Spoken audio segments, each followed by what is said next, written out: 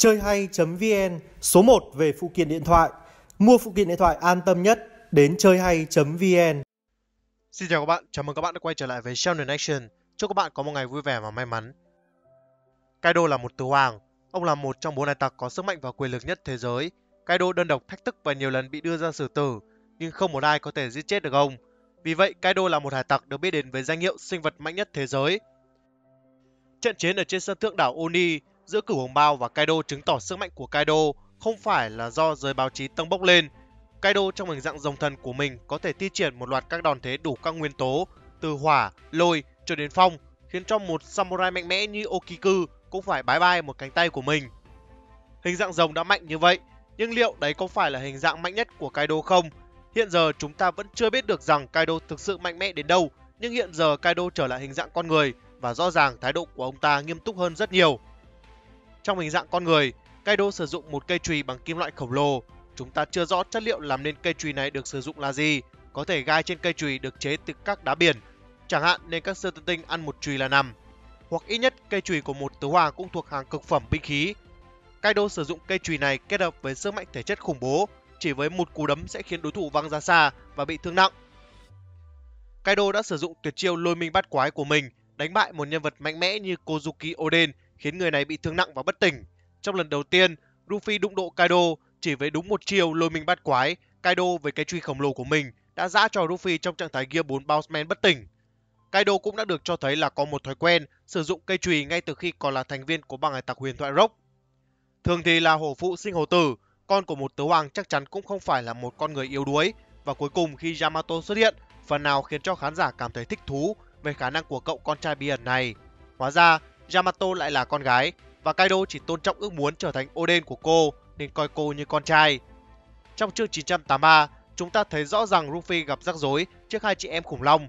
Until đã có cơ hội đối mặt với Luffy, khiến cho anh lù buộc phải sử dụng Gear 4. Nhưng đột nhiên Yamato xuất hiện, kết thúc Until chỉ bằng một chùy. Ông bố mình vã lôi minh bắt quái vào mồm Luffy như thế nào, thì con gái Kaido cũng giống như cha mình. Yamato cũng vã tuyệt chiêu lôi minh bắt quái vào mồm Until, khiến Until trong hình dạng khủng long bất tỉnh. Như vậy, có thể khẳng định rằng, giống như Kaido thì Yamato có phong cách chiến đấu, sử dụng chiêu thức lẫn vũ khí rất giống với cha của mình, một chiếc chùy gai, phong cách chiến đấu trực diện và uy lực từ đòn tấn công là vô cùng lớn. Lôi minh bát quái là một kỹ thuật thực sự mạnh mẽ, sau đó kết hợp với sức mạnh thể chất và chất lượng vũ khí tốt, tạo ra uy lực khổng lồ. Và từ việc Yamato sử dụng vũ khí và các chiêu thức rất giống Kaido thì có thể thấy rằng ngay từ đầu Kaido là người đã luyện tập và dạy dỗ Yamato các tuyệt kỹ của mình. Nhưng bây giờ, điều đặc biệt nhất là trong chap 994 có một chi tiết cực kỳ thú vị. Yamato lần đầu tiên sử dụng một kỹ thuật tấn công mới. Chúng ta cần nhớ rằng, Yamato đã bị cha mình nhốt, đeo xích để giữ cô lại Wano và các kỹ thuật chiến đấu dường như được Kaido truyền dạy. Yamato bây giờ dùng một kỹ thuật mới, vì vậy rất có thể Kaido cũng sẽ sử dụng được kỹ năng bí mật này. Vậy kỹ năng bí mật đó là gì? Thứ nhất, Yamato đánh bại thuộc hạ Sasaki bằng các đòn tấn công tầm xa. Trong chương 994, Yamato đứng cách khá xa so với nhóm thuộc hạ của Sasaki. Sau đó Yamato vung cây chùy của mình lên, động tác giống như một cầu thủ đánh bóng chày.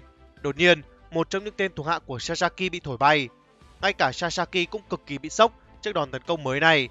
Điều gì đang xảy ra ở đây? Theo như suy đoán của mình, cú xoay người vụt chùy của Yamato mạnh đến nỗi lực nén được tạo ra ảnh hưởng đến không khí xung quanh. Sau đấy mục tiêu sẽ bị trúng đòn và chịu toàn bộ dư chấn của đòn tấn công. Thứ hai, Kaido cũng có thể sử dụng kỹ thuật này. Đây là vấn đề cần được nói đến. Chúng ta đều biết các kỹ thuật chiến đấu của Yamato thường được lấy cảm hứng từ kỹ năng của Kaido.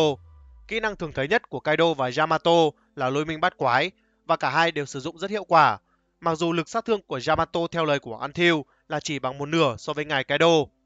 Vì vậy, nếu nói về việc liệu Kaido có thể sử dụng kỹ thuật này hay không, câu trả lời theo logic phải là có. Chủ yếu là vì kỹ thuật này được Yamato sử dụng bằng chùy đây cũng là vũ khí giống với phong cách của Kaido. Có thể Yamato cũng là học kỹ thuật chiến đấu này từ Kaido, giống như lôi minh bắt quái. Vậy nếu Kaido cũng có thể đánh ra kỹ năng bí mật này thì có mạnh không? Antiu đã so sánh sức mạnh lôi minh bắt quái của Yamato chỉ bằng một nửa so với lôi minh của Kaido. Vì vậy, nếu Kaido thi triển kỹ năng này, sức mạnh của kỹ năng này có thể mạnh gấp đôi Yamato hoặc thậm chí nhiều hơn nữa. Thứ ba, Kaido sẽ dùng chiêu thức này trong tương lai. Thật tình cờ, trong chapter 994, Kaido biến trở lại thành hình dạng con người. Điều này thực sự nguy hiểm vì Kaido đang bị tấn công bởi 9 samurai mạnh mẽ.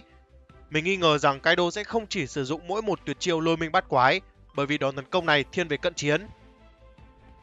Kaido có thể sẽ như thế này, ông ta cũng sẽ tung ra một cú xoáy tầm xa như Yamato để hạ gục một số samurai hoặc ít nhất gây phân tâm cho họ. Sau đó dùng lôi minh bát quái bổ từng người một. Mình thực sự lo lắng khi Luffy lên sân thượng thì cũng là lúc các cửu hồng bao gục ngã hết. Trên đây là những phân tích của mình về bí ẩn kỹ thuật chiến đấu mới của Kaido trong One Piece. Bạn nghĩ Kaido có sử dụng được kỹ năng mà Yamato vừa thi triển không? Thì hãy để lại ý kiến ở phần bình luận bên dưới nhé. Cảm ơn các bạn đã theo dõi, nhấn nhấn like, subscribe để đẹp trai và xinh gái hơn và tham gia vào đại gia đình Shonen nhé. Xin chào và gặp lại các bạn trong những video lần sau.